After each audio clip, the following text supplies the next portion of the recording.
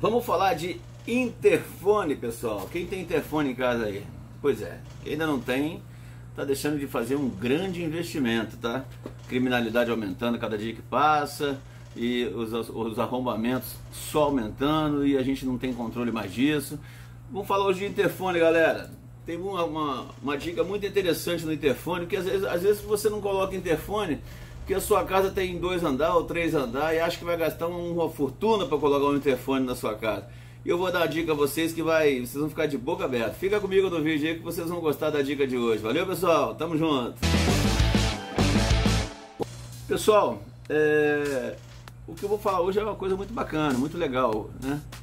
Geralmente, a primeira coisa que eu quero deixar bem claro nesse vídeo hoje é o seguinte: se você for instalar na sua casa um, um interfone, um porteiro eletrônico, né? Tem pessoas que falam interfone, tem gente que fala porteiro eletrônico, mas na verdade é porteiro eletrônico que fala, beleza, galera? Porteiro eletrônico. Porteiro eletrônico é aquela parte de fora, onde fica lá o aquele, aquele interfonezinho que você interfone ali, e parte de dentro, onde fica lá o monofone lá dentro, lá que você atende a pessoa que está lá fora apertando o botãozinho no, no interfone. E chama-se porteiro eletrônico. Beleza, pessoal?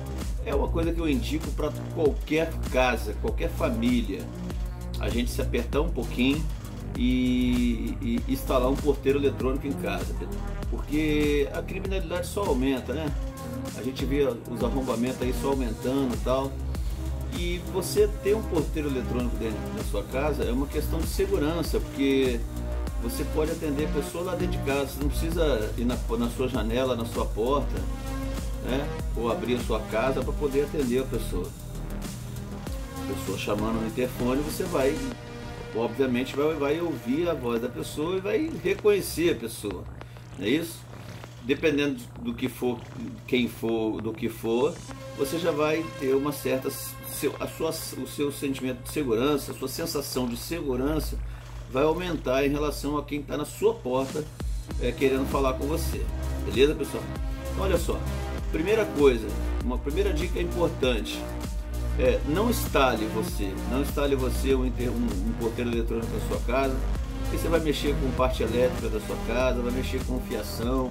O próprio porteiro você tem que saber ligar, porque você pode queimar se ligar os fios errados, né, positivo com negativo, alguma coisa assim e tal, e você queimar o seu porteiro. E um porteiro eletrônico hoje, de um ponto, por exemplo, é uma faixa aí de 250 a 300 reais, dependendo da marca. Então eu te indico para contratar um profissional.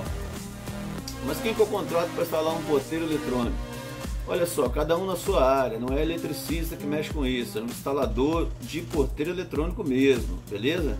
Galera que mexe com alarme, que mexe com câmera, sistema de segurança. E que mexe também né, com, com portão eletrônico, com fechadura elétrica. Esses caras são especializados em instalação de porteiro eletrônico. O eletricista não é especializado em instalação de porteiro eletrônico. Existem alguns eletricistas que aprendem essa área de sistema de segurança, mas são poucos.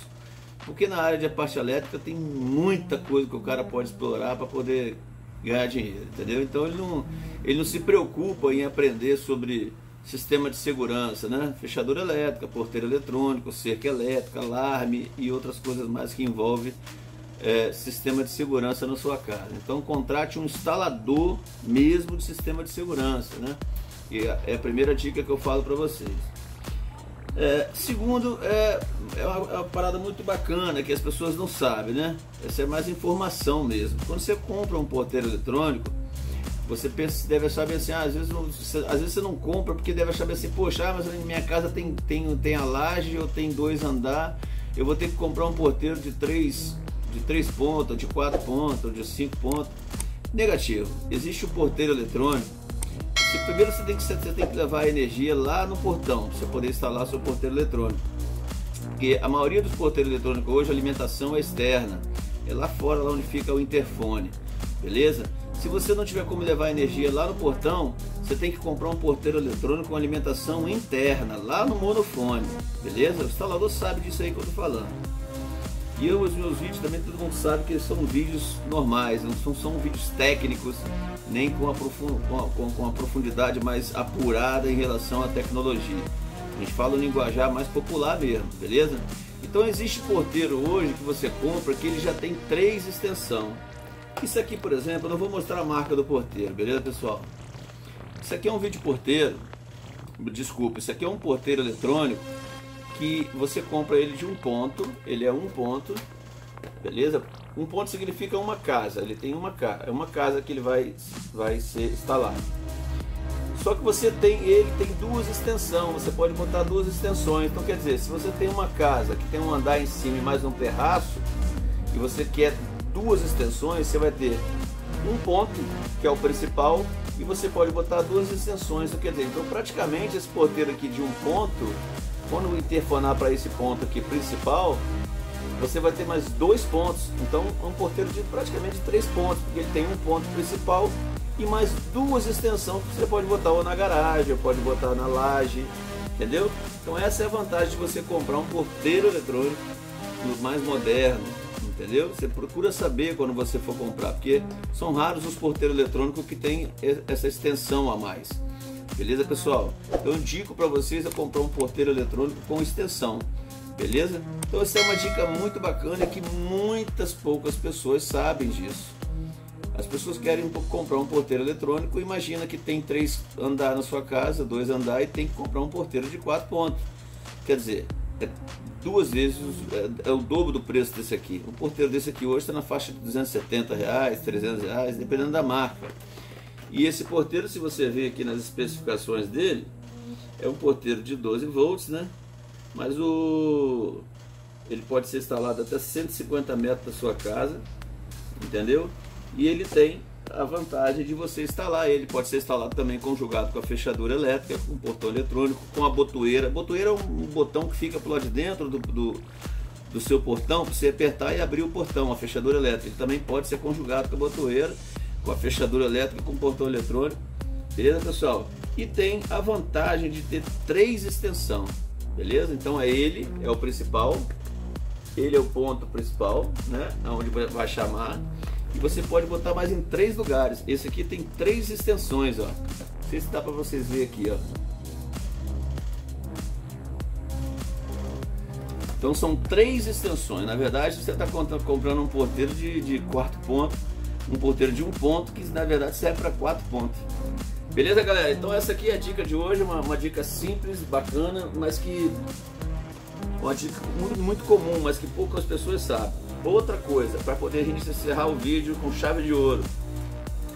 O monofone por lá de dentro, você pode colocar esse monofone aqui, beleza?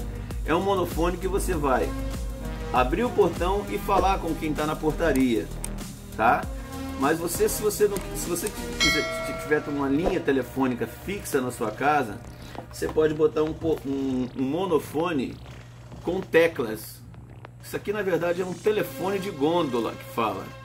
Ele tem a função de abrir o portão, você fala com o porteiro lá embaixo, abre e fecha o portão, melhor, abre o portão, né? E você pode fazer ligações, ó, porque ele tem teclado. Você vai ligar aquele aqui, vai ligar o fio de telefone fixo que você tem na sua casa. Aí você automaticamente pode fazer ligações também externas. Então ele serve para monoponto, para abrir o seu portão, falar com, com entre apartamentos, no caso também, e falar com o porteiro lá embaixo, onde fica na portaria do seu prédio, da sua casa, do seu condomínio, e pode fazer ligação para fora. Então, isso aqui é um telefone de gôndola, é um, é um, é um monofone que funciona como telefone de gôndola. Beleza, galera? Então, essas é as dicas de hoje, umas dicas comuns e simples, mas que poucas pessoas sabem.